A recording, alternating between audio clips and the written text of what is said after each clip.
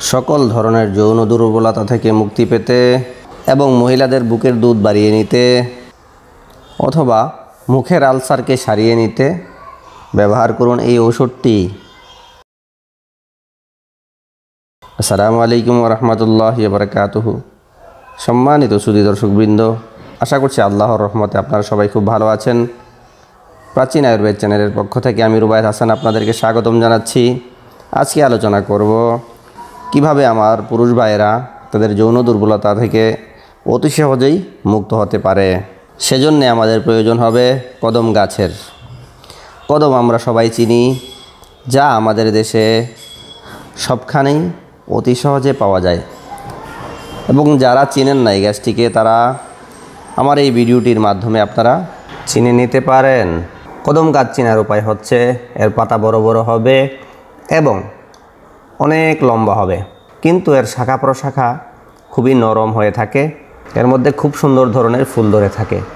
এই সময়ে গাছের মধ্যে ফুল না থাকার কারণে আপনাদেরকে দেখাতে পারছি না। কেউ যদি যৌন দুর্বলতায় আক্রান্ত হন, যেমন দ্রুত বীর্যপাত হওয়া, একবারের বেশি সহবাস করতে না পারা এবং লিঙ্গ সঠিকভাবে শক্ত না হওয়া, এ সকল জনিত সমস্যা যদি আপনার থেকে থাকে তাহলে আপনি এই কদম গাছের মাধ্যমে অতি সহজেই এই সকল সমস্যা থেকে মুক্ত হতে পারেন।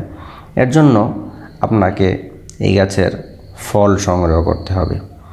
এই গাছের ফল মূলত এই গাছের ফুলকেই বলা হয়। যখন এই ফুলের সময় আসবে, আপনারা কদম গাছ থেকে এর ফুল সংগ্রহ করে নিয়ে আসবেন। একটু পরিপক্ক নিয়ে আসবেন। তারপর এটিকে ভালোভাবে পরিষ্কার করে আপনারা ছোট ছোট টুকরো করে কেটে ভালোভাবে ছায়ায় শুকিয়ে নেবেন। ছায়াতে শুকানোর পর আপনি এর পাউডার তৈরি করে নেবেন। এমনভাবে পাউডার তৈরি করবেন যেন সুতি কাপড় দিয়ে ভালোভাবে ছেঁকে নেওয়া যায়। আপনারা অবশ্যই পাউডার তৈরি করার পর সুতি কাপড় দিয়ে ছেঁকে নেবেন এবং সেই পাউডারটুকু আপনারা দিনে দুইবার চা চামচের সাথে এক চামচ করে খেতে পারেন দুধের সাথে মিশিয়ে। যদি আপনারা মিষ্টি খেতে পছন্দ করেন, তাহলে আপনারা এর সাথে মিশ্রি মেশাতে পারেন।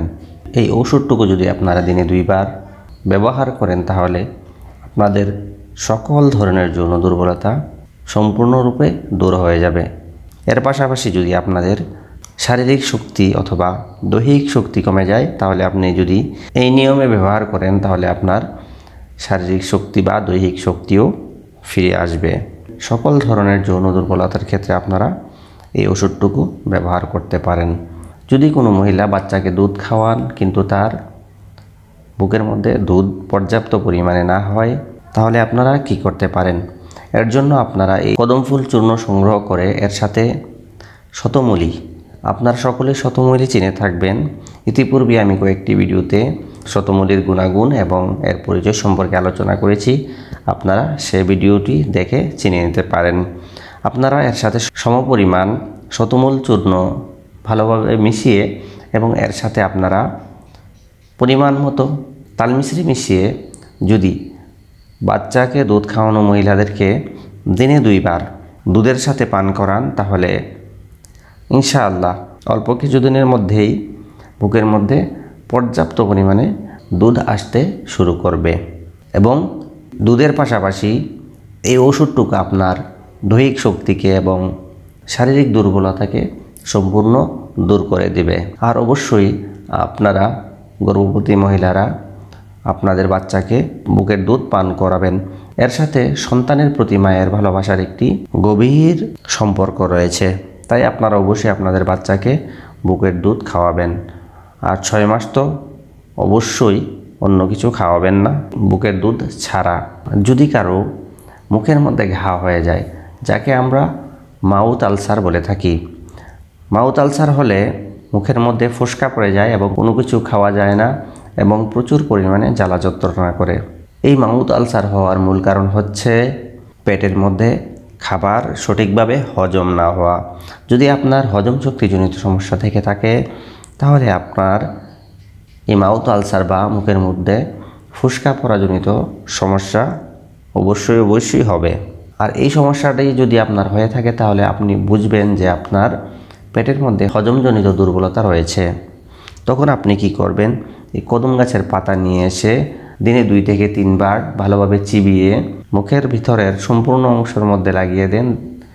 তাহলে দেখবেন ধীরে ধীরে আপনার মাউথ আলসার বা ফুসকা পরাজনিত সমস্যা সম্পূর্ণরূপে ঠিক হয়ে গেছে। এছাড়াও কদম গাছের রয়েছে অসংখ্য গুণাগুণ। আমি আরও একটি ভিডিওতে কদম গাছ সম্পর্কে আলোচনা করব। আশা করছি আমার দেওয়া তথ্যগুলো আমার ভাই এবং বোনদের অবশ্যই অবশ্যই অনেক কাজে আসবে। যদি আপনারা এর মাধ্যমে উপকৃত হন, তাহলে অবশ্যই আমার চ্যানেলটিকে সাবস্ক্রাইব করবেন এবং ফেসবুকের মধ্যে ফলো করবেন এবং অন্যকে উপকার করার যদি ইচ্ছা থাকে, তাহলে অবশ্যই শেয়ার করবেন। আর আমি আপনাদের মাঝে সবসময়ই গাছপালা এবং আয়ুর্বেদিক ঔষধ সম্পর্কে বিভিন্ন ধরনের ভিডিও দিয়ে থাকি। যদি আপনারা আয়ুর্বেদকে পছন্দ করেন এবং ঘরোয়া চিকিৎসাকে পছন্দ করেন, তাহলে অবশ্যই আমার চ্যানেলটিকে আপনারা সাবস্ক্রাইব করে রাখবেন, যেন আপনার কাছে আমার ভিডিওগুলো অতি সহজে পৌঁছে যায়। এই ভিডিওটির মাধ্যমে আমি আপনাদেরকে আরও একটি বার্তা দিতে চাই। আপনারা আগে বৃক্ষকে ভালোবাসুন, বৃক্ষ লাগান বৃক্ষ থেকে উপকৃত হন এবং অন্যকে উপকৃত করবেন। আর অবশ্যই বৃক্ষ লাগানো একটি সোয়াবের কাজ। আসুন আমরা সকলে মিলে সকল ভালো কাজের দিকে অগ্রসর হই এবং সকল খারাপ কাজ থেকে আমরা দূরে থাকি। আর যদি আপনি মুসলমান হন, তাহলে অবশ্যই আপনাকে আমি নামাজ পড়ার আহ্বান করব। তাহলে ভালো থাকবেন বন্ধুরা। আল্লাহ হাফেজ। আসসালামু আলাইকুম ওরহমতুল্লাহি ওবরাকাতুহু